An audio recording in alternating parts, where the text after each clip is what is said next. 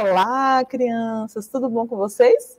Comigo tá tudo bem. Vamos para mais uma aula? A aula de hoje está bem interessante, viu? E vocês vão aprender bastante coisas, tá bom? E é aquela, aquele tipo de aula ó, que vocês vão ter a missão né, de conversar com os adultos da casa de vocês, para estar tá alertando a eles sobre algumas coisas, né? Que a prova vai conversar com vocês aqui, porque é uma aula que que traz conhecimento assim para a vida, né, para o nosso dia a dia.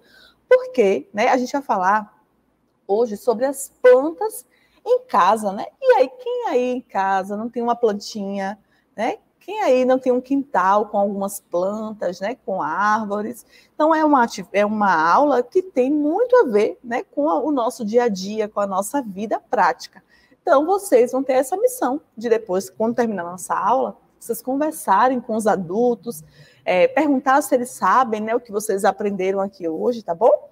Então vamos lá? É a aula de número 73 e é uma aula que vai envolver matemática e ciências da natureza, tá bom? Aí a Pro colocou essa plantinha aqui germinando, né? Para ilustrar nossa aula de hoje, plantas em casa. Então, para começar, a Pro quer saber de vocês. Na sua casa tem plantas? Né? As plantas da sua casa ficam dentro, ficam fora de casa? São plantas pequenininhas ou são plantas grandes? São plantas que dão frutos ou não? São plantas só para decorar? Ou tem casas também que não tem plantas de verdade, né? Tem plantas artificiais. O que é isso, Pro? É uma plantinha de mentira, né? A gente não precisa regar, não precisa colocar terrinha, ela fica lá linda a vida toda, né? E na sua casa, as plantas, elas ficam em vasos pequenos, em vasos grandes, ou ela é plantada no chão? Como são as plantas de sua casa? Elas têm raízes grandes ou raízes pequenas, né? Vamos lá conversar sobre as diversas, os diversos tipos de plantas que existem? Vocês sabiam que existem plantas de diversos tipos e para diversas funções? Vamos lá conhecer? Deixa eu passar aqui. Olha só, o que é que a gente vai aprender de fato hoje? A gente vai descrever né, as características de plantas, né, no caso dessa aula, apenas as plantas. Também nós vamos descobrir, relatar o que acontece com as plantas na presença da, da luz, da água. Então, no final da aula, a prova vai ter uma proposta de uma experiência para vocês fazerem aí na casa de vocês, para vocês serem pequenos cientistas, tá bom? E também a gente vai comunicar quantidades, tá bom? E vocês vão é, ter a oportunidade de, é, executando essa experiência, vocês vão estar comunicando as quantidades, tá bom? Para começar, a Pro trouxe esse poema aqui, que é tão lindinho, tão fofinho, que fala sobre as plantas, tá bom? Então, o que é que as plantas têm? Uma planta no sertão, naquele sol de rachar, o frio intenso parece ser ideal para uma, enquanto outra gosta de beira do mar. Uma dos espinhos, outra com gavinha. Uma suporta falta d'água, outra morre sem, coitadinha. Aquela nas geleiras parece muito frio aguentar, mas eu fico me perguntando como é que elas conseguem suportar. Essa autora né, é Janaína Ricardo. É, e é um poema que fala dos tipos de plantas, né? E cada planta nasce em um determinado, uma determinada região. E vai ter uma aula que a gente vai de fato ver quais são as plantas que nascem em locais quentes, em locais mais frescos, tá bom? Hoje a gente vai observar a variedade de plantas que existem, tá certo? E os formatos, como aqui fala, ó, tem planta que tem espinhos bem pontudos, tem outros que tem gavinhas, que são talinhos, né, pequenininhos. Então, para a gente começar conversando, olha a roda aqui. Imagina que você está sentado aí na roda, na sala de aula, com sua prova, seus colegas. E aí a gente começa conversando, né? Quem aí gosta de plantas, né? tem gente que gosta de admirar a beleza das plantas, das flores, né? É, como a Pro já perguntou, tem plantas em sua casa? Quantas plantas tem na sua, na sua casa? Conta aí rapidinho. Quantas plantas tem? Tem uma, duas, três? Tem casa que tem um monte, né? Conta aí quantas plantas tem. quais plantas vocês conhecem? Né? Quem mora aí perto do, do distrito, perto de, um, de roça, né? Costuma ter mais contato com plantas, com árvores, né? Frutíferas. Então, quais são as plantas que vocês conhecem? Quais tipos de plantas, né? Uma, a, a, as plantas e quais são os tipos? Vocês conhecem fruta, é, plantas frutíferas, plantas, como a Pro falou, decorativas, né? Ornamentais, plantas que servem para fazer chá. Você conhece alguma planta que serve para fazer chá? E qual será a utilidade das plantas em nossa vida? Será que a planta né, é só para ficar enfeitando? Ou será que a planta serve só para fazer chá? Será que a planta serve para comer? Né? Vamos lá conhecer a utilidade das plantas. E a Pro trouxe algumas para vocês conhecerem. Essa é o girassol. Deixa eu colocar aqui, ó. Girassol. Olha como é que escreve girassol. Né? E de fato é uma planta que, quando o sol, né, ela fica procurando os raios do sol. Né? A gente vê que ela muda de posição no decorrer do dia. Outra aqui, ó, bananeira. Será, né, que as duas, o girassol e a bananeira, têm a mesma função? Aqui a gente vê, ó, no pé de bananeira, o que é que o pé de, de bananeira oferece para a gente? Oferece banana, né? Então a bananeira é uma árvore frutífera, né? E o girassol, será que o, pé do girassol ele também ofer oferece frutos para a gente? Não, né? Então é, tem a semente de girassol, mas é, ela não oferece um fruto para a gente, certo? Então aqui a gente tem uma árvore frutífera, aqui a gente tem uma flor, né? Aqui outra, ó, a cidreira. Quem aí conhece a cidreira? Certamente aí na casa de vocês, os adultos aí conhecem né, essa planta, que serve né, para fazer um chá, quando a gente está com a barriguinha um pouquinho assim reclamando. Então a mamãe e a vovó costumam fazer um chazinho de cidreira né, para acalmar o, a nossa barriguinha, nosso estômago. E tem o bambu, né? Será que os dois têm a mesma função? Essas duas plantas, elas são semelhantes? A gente vê aqui, ó, que tem é, o bambu, ele tem essa parte dele, né, que algumas é, serve para construir algumas coisas, né? A gente vê que tem casas que é, se utiliza do bambu para fazer essa parte do tronco, né? E tem essa folha, que é uma folha bem lisinha, se a gente estiver pisando nela, tem que tomar cuidado, porque é, fica bem escorregadia.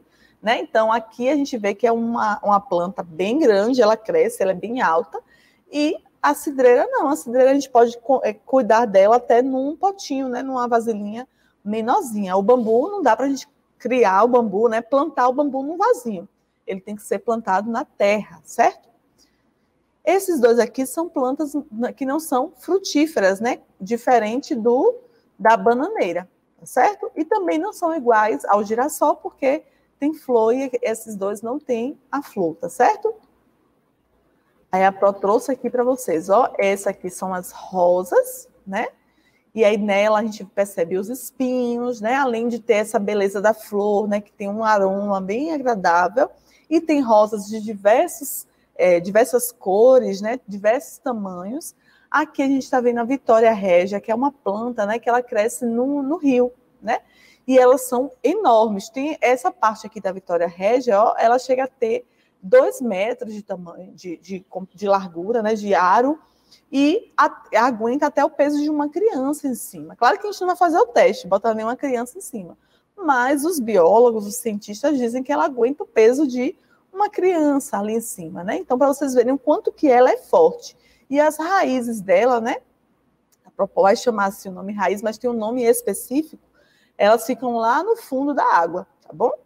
Então a gente vê, e ela tem uma flor, ó, como é linda a flor da Vitória Régia, né?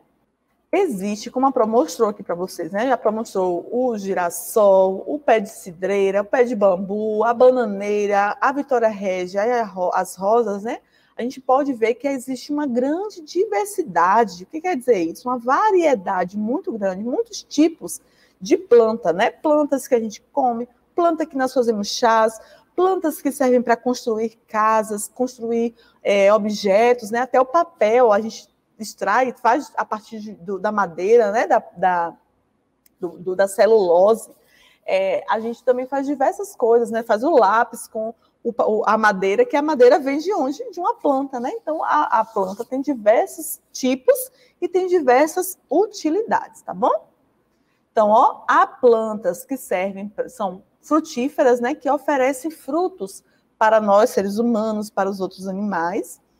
Tem plantas que são hortaliças, né, que também nos oferecem é, alimento, né, que a gente faz a, a, vai lá na feirinha e tem as hortaliças, verduras, frutas, legumes. Tem plantas medicinais, como a Pro já explicou, com a, com a cidreira, né, que servem para tratar de, de, de, alguma doença, né? Quando está tá com a barriguinha doendo, quando está com a garganta inflamada, quando a Pro era criança que estava é, com a garganta inflamada, minha avó fazia lambedor com um monte de chá de plantinhas lá que servia para melhorar a gargantinha, né? Também tem plantas ornamentais como essas aqui, ó, que são para decorar a casa, e tem as flores também que são servem, né, para decorar, e também tem flores que são servem para alimentação, né? Tem flores comestíveis, tá bom? E tem folhagens, como a gente a vai mostrar para vocês aqui já já.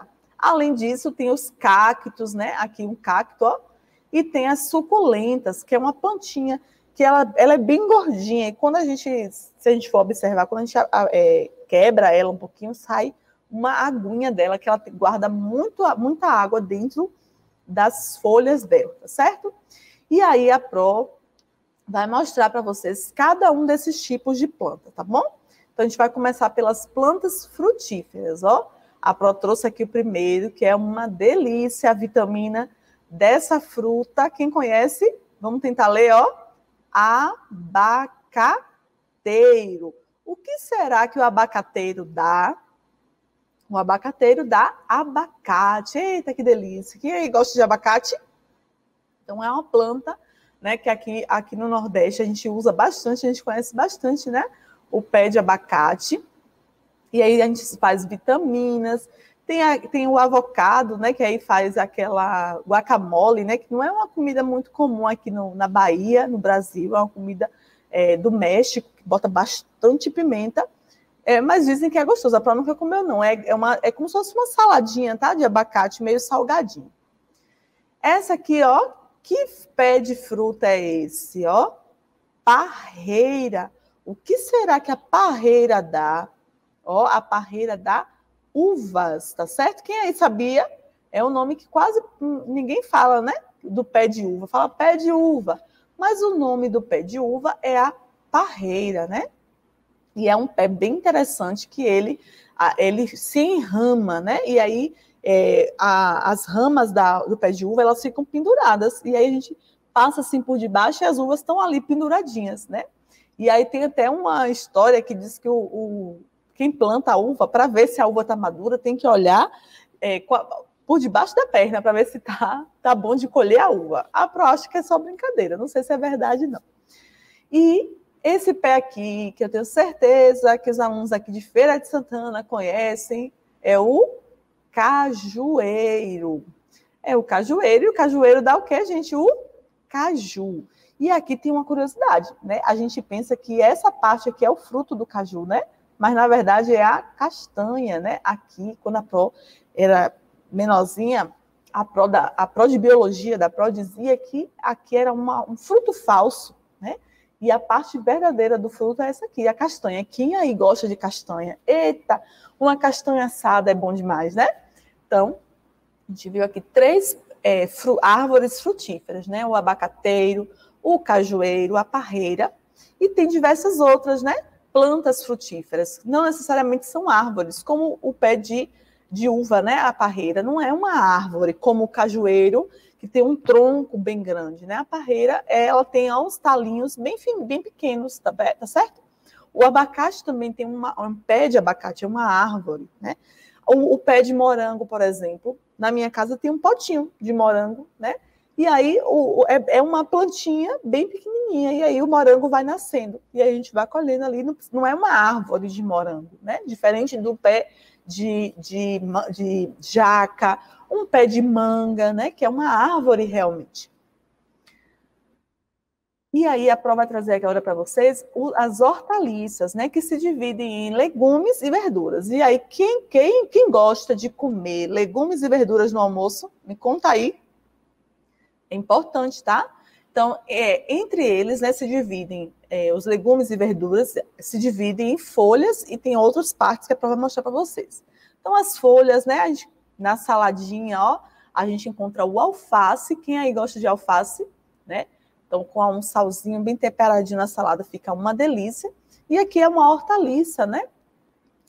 É, a gente também tem o espinafre, né? E aí tem um desenho do Popeye que ele fica forte comendo o espinafre, né? Também pode ser utilizado em saladas para fazer sucos, né? É, agora está todo mundo fazendo essa, essa, nessa, nesse movimento de comida saudável, né? Então faz suco de espinafre, que também é bem saudável. Quando a gente está com anemia, o médico passa o espinafre porque ele é bem rico em ferro, né? E tem o repolho, né? Que também é considerado uma folha, né? Aqui está cortadinho, mas a gente vai tirando as camadas do repolho, né? Que são bem gostosas. A Pro já gosta de comer repolho, alface, espinafre na salada. Você gosta? É bem saudável, tá? Ou, ou os, as hortaliças, né, os legumes e verduras também se, se dividem em talos e hastes. Olha só o aspargo, né, que é, um, é, é uma haste, né, que não, nem todo mundo costuma comer ele. Mas a trouxe para vocês conhecerem. O funcho também, que não é, é, tão conhecido aqui da nossa região, mas a, a trouxe para vocês conhecerem. E o aipo, né? E aí essa parte fica aqui, ó, plantadinha na terra, tá bom? Esse aqui parece uma cebola, né? Além disso, ó, as, as hortaliças, elas também têm as flores, ó, tem o couve-flor, eita, que couve-flor é uma delícia também. Tem o brócolis, eita, que a prova brócolis no arroz, fica delicioso. E tem a alcachofra, que também não é uma, uma flor, né, é tão conhecida aqui na Bahia, né, mais conhecida lá no sul do país, sudeste, mas aqui é para trouxe para vocês conhecerem e vocês verem a diversidade, né, de hortaliças que tem. Então, aqui a Pro mostrou para vocês as, fo as, fo as folhas, ó, as folhas. Aqui a gente vê as, os talos, né, as hastes e as flores, né? Então, para vocês verem os formatos que elas têm, né? As texturas como são diferentes. Essa aqui parece que é um pouquinho mais durinha, né? Tem um, a gente vai descamando ela. E aqui de fato, parece que é uma flor, né, desabrochando. E a gente vai separando em, em pequenos talinhos, parece um buquê, né? Quando a gente vê no supermercado, na feirinha, o, a couve-flor e o brócolis parece um, um buquê de, de noiva, tá certo? Vamos continuando. Agora a gente vai falar das plantas medicinais, tá bom? E aí a Pro trouxe essas três, que eu tenho certeza que vocês já ouviram falar algumas delas aí. A primeira que a Pro trouxe foi a arnica, né? Que é uma uma flor, olha como ela é linda, né?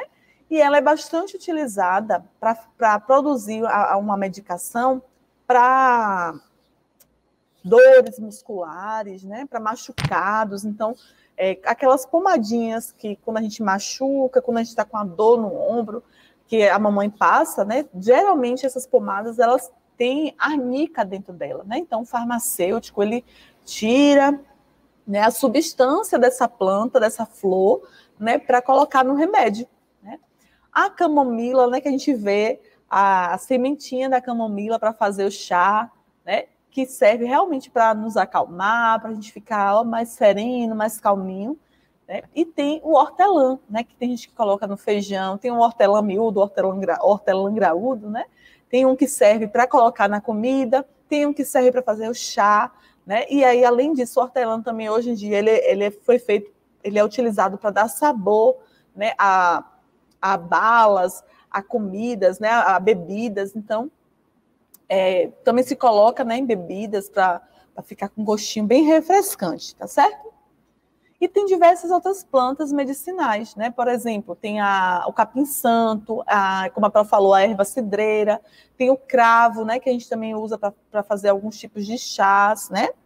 Olha só a Pro trouxe aqui também, eles são medicinais, mas também eles servem para alimentos, né? como o manjericão, por exemplo, que bota na, no macarrão, na macarronada, que fica uma delícia. O urucum, ó, que a gente machuca e serve também para.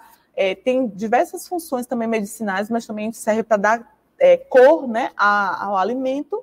E tem a planta Ora pronobis, né, que muita gente usa na alimentação também. Né, e é, é cozinha essa, fo essa folha além né, da, das plantas frutíferas, das plantas é, medicinais, né, também tem, e das plantas que nós usamos na alimentação, tem também as plantas ornamentais, né, as flores e folhagens, que são aquelas que a gente usa para decorar o ambiente. Então, tem a begônia, como a Pro colocou aqui, olha como ela é linda, né, que geralmente a gente coloca para enfeitar o ambiente. Né? Tem a tulipa, que, que se usa para decorar casamento, festas. E a violeta, que é tão bonitinha ela, né? Ó, que é um, é, ela é bem pequenininha. E, e também serve para decorar. Então vejam, ó, como elas são convidativas ao olhar, né? A gente olha, admira as, a, as folhas dela, né? A, a, o formato que elas têm. Então tem diversas outras folhas, né? Como para mostrou, tem a rosa, o girassol, tem a margarida, né? Tem diversas plantas que a gente também usa para decorar a nossa casa, decorar os ambientes. Tem também ó, a costela de Adão, né? a espada de São Jorge, que muita gente usa para decorar, e essa aqui. E aí, daqui a pouco, a vai fazer um alerta para vocês, tá certo? Tem as suculentas, né, que, que a gente considera elas, né, como os cactos, né? Essa aqui que é a orelha de coelho, ó, como é a pontinha dela. Por isso, lembra a orelhinha do coelho, ó e a rosa de pedra. Olha como ela é linda. Né? E essa folha aqui, dentro dela, tem bastante, guarda bastante água, igual um cacto, né? Todas essas aqui, elas têm essa característica de armazenar bastante água. Então, são, são plantas que são resistentes, elas precisam de água, mas elas não precisam ser regadas todos os dias, como algumas outras, tá certo? E esse cacto aqui, né, o, o mandacaru, que a gente vê muito aqui na nossa região, né? é, a, a, a, gente chama de mandacaru, tem a flor do mandacaru, né, que também é bem, bem bonito. E aí agora a Pro vai fazer aquele alerta que a Pro tinha falado com vocês quando eu mostrei algumas plantas ornamentais, né? Qual é o alerta que a Pro quer fazer para vocês? A Pro falou, né, que tem plantas que a gente pode comer, tem plantas que dão frutos, tem plantas que a gente admira, né, que a gente é, enfeita a casa, enfeita o ambiente, mas a gente precisa ter cuidado com essas, com algumas dessas plantas, né? Não são todas as plantas que dão frutos, né? Que dá, dá aquelas sementinhas que a gente pode comer. Tem plantas que elas oferecem perigo para a gente, elas são perigosas, são venenosas, tanto para a gente quanto para os animais. Então a prova vai mostrar para vocês aqui quais são as plantas que a gente tem que ter cuidado com elas, tá bom? Então elas são chamadas de plantas tóxicas, né? Porque elas têm, né, um, alguma substância que faz mal para a gente, né? E a gente pode, se a gente chegar perto delas, se a gente tocar nelas e, e levar a mão à boca, né? Ou se algum animal ou alguma criança colocar um pedaço dessa planta na boca, pode passar muito mal. Então a gente tem que evitar ter contato com essas plantas. A gente não vai destruir as plantas, mas a gente vai manter distâncias dela, distância delas, tá bom? Então, essa aqui, ó, a dama da, da, a dama da noite, né? É uma planta que é bonita, tem um cheiro agradável, mas a gente não pode, né, tocar, levar a mão à boca depois que mexe nela, nem cheirar, porque pode desenvolver alguma alergia, né? Tem gente que pode não ter, mas geralmente, né, os médicos eles recomendam que a gente mantenha distância dessa planta dama da noite, tá bom? Tem essa aqui, ó, a azaleia, que também é muito bonita, né? Olha só como ela é linda mas a gente também precisa ter cuidado. Ainda mais porque ela tem ó, essas, essas hastezinhas aqui que elas soltam um pólenzinho. E aí, se você tiver alergia, essa também tem, ó, dama da noite. Então, se você tiver alergia, né? Então, o ideal é não ir cheirando planta, não, viu? A gente não fica cheirando a planta, não. Tem plantas que a gente não precisa nem cheirar, que ela já exala um, um cheiro bem bacana. Por exemplo, o jasmim, né? Ele já libera um cheiro. As rosas também a gente não precisa nem cheirar né? Porque onde tem pé de rosa, a gente já sente o cheiro de longe. Vamos ver outras, ó. A gente tem que ter cuidado. A mamona, né? A gente tem que ter cuidado porque ela também é, oferece perigo, ela é tóxica, né? Pode dar náuseas, você fica enjoado, pode dar dor no estômago, né? E se dependendo da quantidade, pode passar muito mal. Tem essa aqui que é a espirradeira também, que a gente também tem que ter cuidado com ela, né? Então vejam que são plantas bonitas, né? Para a gente admirar, mas a gente tem que ter cuidado, é, não manusear, não mexer nelas, tá certo? Essa aqui, ó, coroa de Cristo, ó como ela é lindinha. É, mas a gente também tem que ter esse cuidado. Todas elas praticamente causam esses efeitos de dar enjoo, vômito, dor de barriga, dor de cabeça. A pessoa fica tonta, então tem que ter muito cuidado. Essa aqui, que é o lírios, essa aqui a Pro tem alergia, sabia? A Pro não precisa nem tocar nela, mas se a Pro chegar num ambiente, num ambiente que tem lírios, o olho da Pro começa a coçar, a garganta também. Então a Pro é, acha muito bonito o lírio, mas o cheiro dela já deixa a Pro tonta e enjoada. Né? Então, quando a Pro entra no ambiente que tem lírios, a garganta da Pro já começa a reclamar. Né? Então, a Pro nem toca e já tem alergia, para vocês verem como é, como tem plantas que são bem perigosas. Né? Então, se a Pro só em chegar perto, né, tá no mesmo ambiente, a Pro já fica se sentindo mal. Imagine se a Pro tocar nessa planta, né? A Pro vai ficar bem, bem mais irritado, né, o organismo da Pro. Então, a gente precisa é, evitar esses tipos de planta. Aqui tem essa, que é a era que a Pro falou, que muitas casas usam para decorar o ambiente, né? E ela realmente é bonita, mas tem que ter cuidado porque a folha dela, né, libera tipo um leitinho que também é bem perigoso. E essa aqui, ó, bico de papagaio, né? Que na nossa região tem pessoas que não usam, né? Usa mais aquela de mentirinha, é, no Natal para decorar casas, né? E é, geralmente tem pessoas que têm em casa e usam também para decorar, então tem que ter cuidado. Né? Ainda mais casas que tenham bebês, que tenham animais, tem que ter cuidado, porque para o animal não ter contato também, porque se a gente passar mal, o bichinho também pode passar, certo? Outra, ó, essa aqui é bem perigosa. O nome dela já diz, ó, comigo ninguém pode. O nome dela já está dizendo, ó, não encoste em mim, né? É uma planta muito perigosa. Então, crianças, nada de mexer nessa planta, tá bom? Já conversem com os adultos da casa de vocês. Se estiver na casa de vocês, vocês já, já estão alertas de não mexer, né? Só o adulto limpar, porque essa plantinha aqui tem gente que gosta de, de dar uma, uma limpada nas folhas, né? Porque ela, ela é tão grande que acaba caindo poeira nela, e aí quem cuida dela, delas gosta de deixar as plantas bem brilhantes. Então tem que ter muito cuidado toda vez que mexer nessa planta, lavar muito bem a mão, tá certo? Para não ter nenhum perigo. Essa aqui também, ó, ela é bem bonita, mas ela também é tóxica, né? Que é a costela de Adão. Tá bom? A folha dela libera também o leitinho, como a Pro falou, que ela é tóxica. Essa aqui, ó, copo de leite, que também é muito bonito, né? Tem algumas casas tem aí, né? Mas também tem, tem, a gente tem que ter cuidado. Também ela libera um leitinho nesse talo aqui, que é bem perigoso. Essa aqui, ó, que é a samambaia também, né? Então, é, servem para enfeitar a casa. Então, tem que ter esse cuidado de só olhar, né? Só admirar a beleza dela, porque de fato são muito bonitas. Essa aqui, que é, é chamada de é, Jorge Tadeu, né, a planta de Jorge Tadeu, que foi uma novela que tinha essa planta, que se chama antúrio, também é uma planta venenosa, essa, essa, esse talo dela e a folha também, quando a gente quebra ela, né, tem um, um leitinho que também é perigoso. Quando a própria fala um leitinho, é uma, sai uma, uma substância, né, branca, né, que para, lembra o leite, por isso que a própria fala esse, que sai esse leite. Esse aqui é a dedaleira, ó, também é linda, mas né, também é tóxica.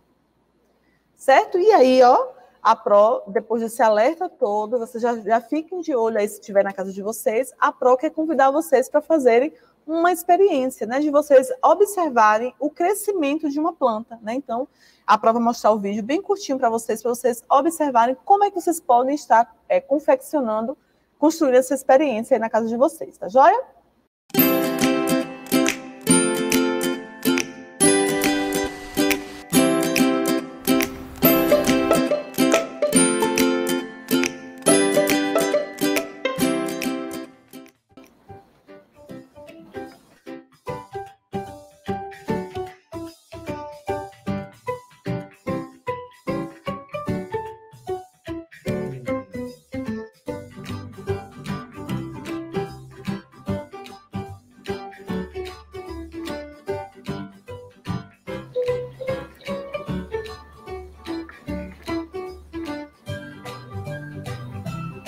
Então vocês podem utilizar o copinho que é para o lixo, né? Faz um furinho, coloca o substrato, a terrinha, né?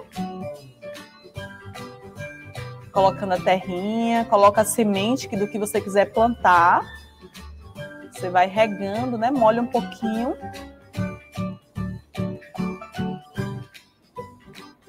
Uma dica também, vocês podem usar copos, é, ou, é, casca de ovo, né, copinhos de Danone, copos descartáveis que iam para o lixo, vocês podem utilizar também. E vocês podem plantar diversas coisas, usando sementes que vocês têm em casa, tá certo? E aí a dica é que vocês observem o crescimento. Então anotem né, o dia que vocês plantaram, coloquem o nome no rótulo, né? O nome do que vocês plantaram. Foi, é, foi alguma. Foi pé de tomate, né? Morango. Então vocês coloquem aqui o nomezinho e vão anotando, né? O dia que você plantou, quantas vezes você molhou, né? Regou essa planta. E aí você vai acompanhando o crescimento dela. Até chegar o momento de você colher. Então é isso. Eu espero que vocês tenham curtido essa aula, né? E que vocês possam aí confeccionar né, a pequena hortinha de vocês, tá bom? Para que é, vocês possam colher né, os produtos que vocês quiserem. Uma, uma dica que é para dar, vocês podem plantar coentro, né, fazer uma hortinha aí de, de temperinhos que a mamãe pode usar para preparar a comidinha de vocês, tá bom? Fica bem gostoso. Fica com um sabor diferente a hortinha de vocês. E vocês podem ir acompanhando, tá bom? Então, ver quantos dias demorou né, para crescer, para virar o broto, né? Crescer vocês vão contando, tá certo? E anota o nome direitinho no pote. Combinado, gente? E fiquem alertas para as plantas que são tóxicas, tá certo? Então é isso, a gente vai ficando por aqui. A gente se vê na próxima aula. Um beijão e até mais. Tchau, tchau.